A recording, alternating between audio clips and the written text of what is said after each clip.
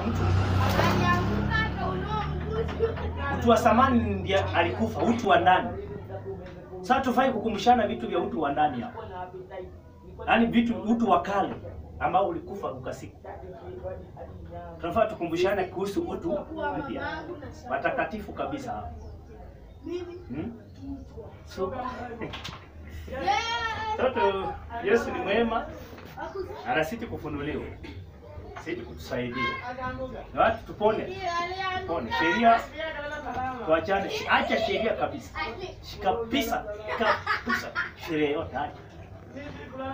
Kama umekataa kufanya kitu, iwe ni kwako mwenyewe, kwa ajili ya maadili mema kwa wengine, yaani kwa ajili ya wengine. Usifanya kitu kitakachomkwasa mwingine, lakini acha kuingisha Yesu kwa vitu vya mwili. Maana ukienda kufanya usharati utapigwa tu, utatandikwa huko. Si hata umesikia kuelekea machifu sijui nini wanachukua, wanafanya watoto wadogo sijui sina wanafanya tu, alafu wanashikwa, si ni kweli? Sasa utapitia punishment, mwili utaumizwa kabisa.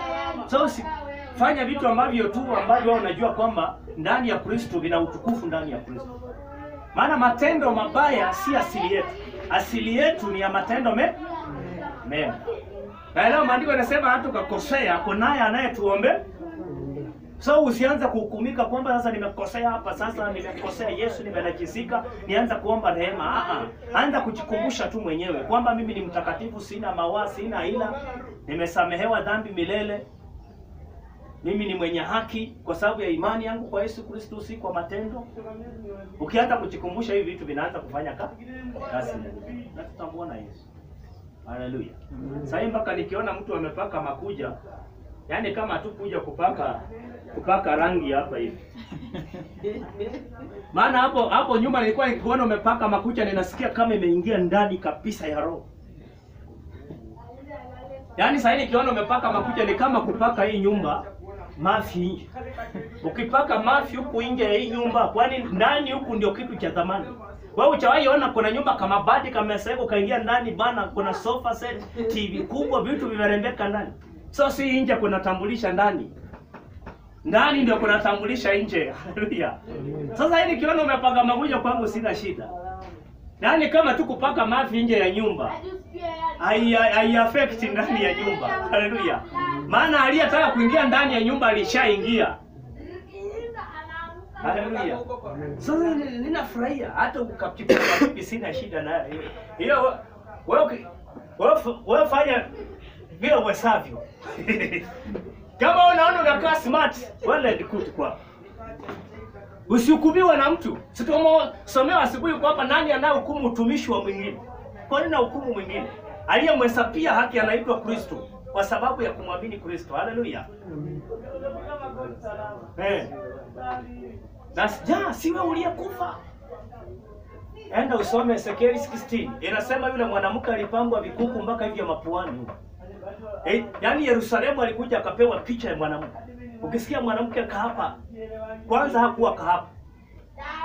Au pia kama kweli hizi vitu ni vibaya, kwa nini Mungu anapamba? Amesimama kwa kama mke. Mungu anapamba mke wake Mm. na dhabihu, dhahabu, lulu na hizo zote? Si shida. Hata ukitaka kutundika lingine kwa miguu huku, shida iko wapi? Wewe tandika tu, faa uwe safi.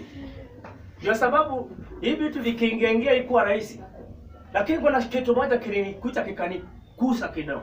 Masai, Masai, wewe unajua mila ya Masai wanakata maskini, unajua mila ya Masai mila wanafaa, si ni kweli? Wanafanga tofauti tofauti, yaani inamaanisha au Wamasai wesiokoka wewe na utapatilishaje Wamasai kama Kamangwani msima Wamasai wamechaa mfano, wanafaa hivyo, utawapatilishaje mpaka wafae kama wewe? Kwa hiyo unafikiria wewe ukifaa hivyo ndio umefaa vizuri?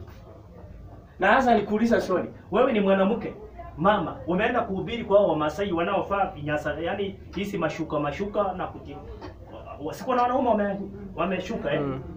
na kata manywele na kila yani hiyo unaelewa na mash, ma hivi vitu wamefaa vimejaa huku huku hivi.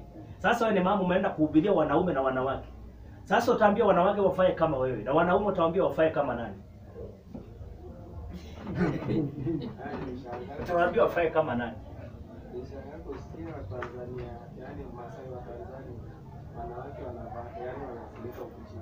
Yeah. Si ni mila, hizo ni mila sawa. Si tuliambiwa hata makumbusho usiende. Ujai hubiriwa hivyo. Makumbusho unafaa uende my friend. Na kata ukikuta wana, wameshika nyama wamesurround hiyo ng'ombe wana- maneno ndio wachinje. Wakishamaliza unafaa uende waambie nikatieni kwanza nionje. Mimi ndio wa kwanza kuchoma nionje. Haiwezi kukuna chisi my friend. Kitu ambacho kiko ndani mwako ni dhabihu. Dhabihu, elewa dhabihu Yesu. Kwanza kabla ya Yesu kulikuwa na